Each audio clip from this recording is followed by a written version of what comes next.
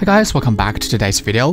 After we published the previous video, we tried our best to test the iPhone 14 Pro Max and found something interesting. And today we will share with you. We showed the charging compatibility test results and the appearance of this phone. But if you haven't seen the previous video, you can also click the right corner to check that.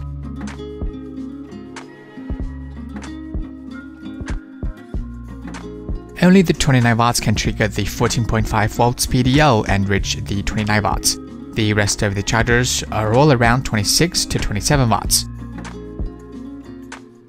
Except for this, we also tested its charging performance from 0 to 100%. And this time, we picked up Apple 5 watts, 18 watts, 20 watts, 35 watts, and 140 watts chargers. Firstly, here is the fully charging test of Apple 5 watts charger, which is pretty stable. Most of the time, it just maintained at 4.7 to 4.9 watts.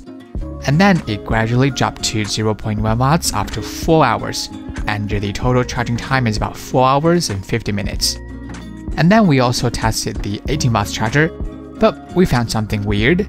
The curve is stable in the beginning, however, the charging current will drop sharply in about 1 hour, and the charging power will almost drop to 0 watts as well and the phone shows charging on hold. We also tested the rest of Apple chargers, including 20 watts, 35 watts, and 140 watts, all the same.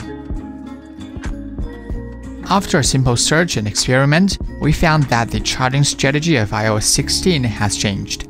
This problem can be solved by simply closing the settings, battery, battery health, optimizing battery charging. Next, we discharge and recharge the iPhone 14 Pro Max, and this time, the charging curve of the 18 watts charger is much more stable. The voltage can be divided into 9 volts and 5 volts, and it'll take a few moments to trigger the 9 volts. The peak power is about 17.5 watts, and it'll take 2 hours and 17 minutes to be fully charged. Then switch to 20 watts. The charging curves of those two chargers are almost the same, the peak power is about 19.5 watts and total charging time is 2 hours and 3 minutes. Next, let's see the 35 watts.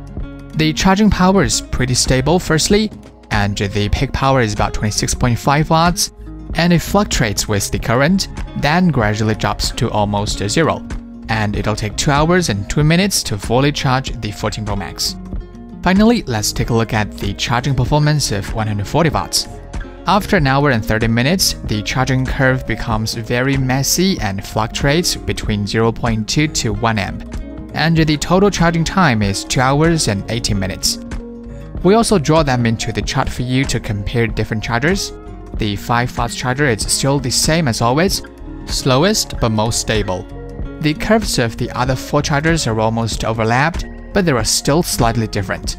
The 35 watts charger is the fastest in the whole charging process, and the 140 watts charger is 60 minutes slower than 35 watts charger. Compared with previous generation, the charging performance is almost the same, and 30 or 35 watts charger is the best for your iPhone 14 Pro Max. If you want the best charging performance, we suggest you turn off the optimizing battery charging. Okay, that's all for today's charging review.